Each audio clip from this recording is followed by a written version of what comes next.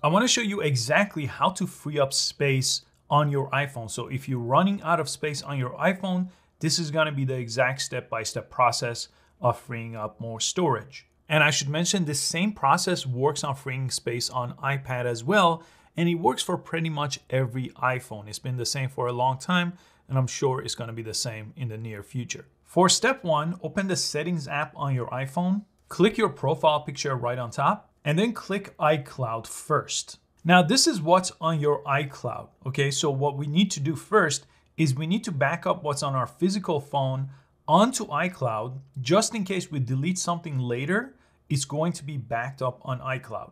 Now, this is not required, but it's just a safe step to take. So what I recommend you do here is go to iCloud backup right here and make sure you press backup now. So as long as you press backup now and then you delete anything else in this process, you could always get it back from iCloud, which is not stored on this phone. Now, in some cases, your iCloud might be full too. So you could go ahead and manage the storage of your iCloud here. And you could change your storage plan. So if you need to upgrade, they have plans for as little as 99 cents. And you could also remove things from iCloud here to make storage on iCloud. I have a different iCloud video though. This is just for the physical phone. So make sure you do that as step one. Now for step two, let's free up storage on our iPhone. So let's go to settings here, but this time go down to the general section and click on iPhone storage. Now, this is what's physically on this iPhone. iCloud is what's on the iCloud backup, which is kind of cloud storage, not physically on the, your device right now. If you look up here, it's going to show you your total space. So the second number is your total space. The first number is the amount of space that is taken up right now by the things on your phone. And you may have some suggested options over here from Apple that I've already exited out of. Now, in most cases, as you look through all the different things that are taking up space, usually for most people, photo is number one and messages is number two. So in the second step, I'm gonna show you how to get rid of photos here from your physical phone and back them up in a way where they don't take up space. And that will give me back 45 gigabytes, which is a lot of space here. So how do we do that?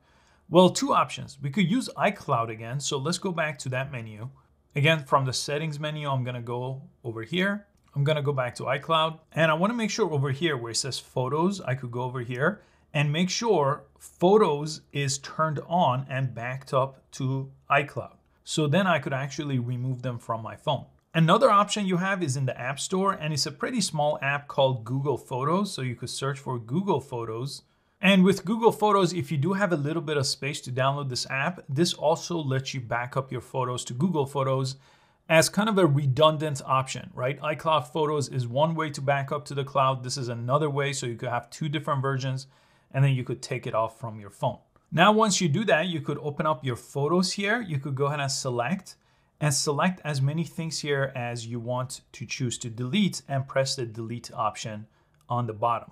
And then go to albums, go all the way to the bottom to recently deleted. Make sure you delete them from here too, because it does keep it here as recently deleted and you could get rid of it and it will empty out storage right away. Now let me show you option two. Let's go back to general here and let's go to iPhone storage. And then you wanna look at messages. So let's go to messages here.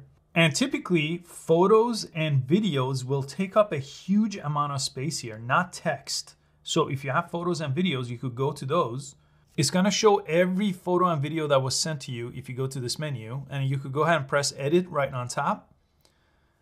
And then you could start selecting them here and then pressing delete and it will remove space from your phone and free up space on your iPhone. Now you could do the same thing if you see things with podcasts, for example. So I could go ahead and delete a lot of these things that are taking up space, like all these podcast episodes, you could go ahead and delete those if you have things like podcast you also may have Google Drive here. So you could go ahead and delete this app so it's not synced to your phone if you see that as an option. And the last thing I'll show you here is you could offload unused apps.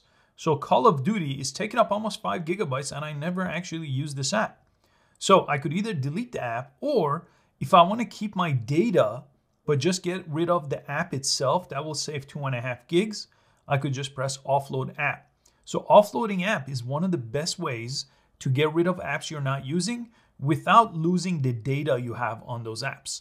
If you're not going to use this app at all, you might as well just delete this app, but I recommend offloading the app because it will save your gameplay, for example, and you could always reinstall it. And if you go through, you'll see lots of those types of apps that are taking up lots of space. And in some cases, you might have these iOS installs as well. So you could go ahead and delete these updates from your phone.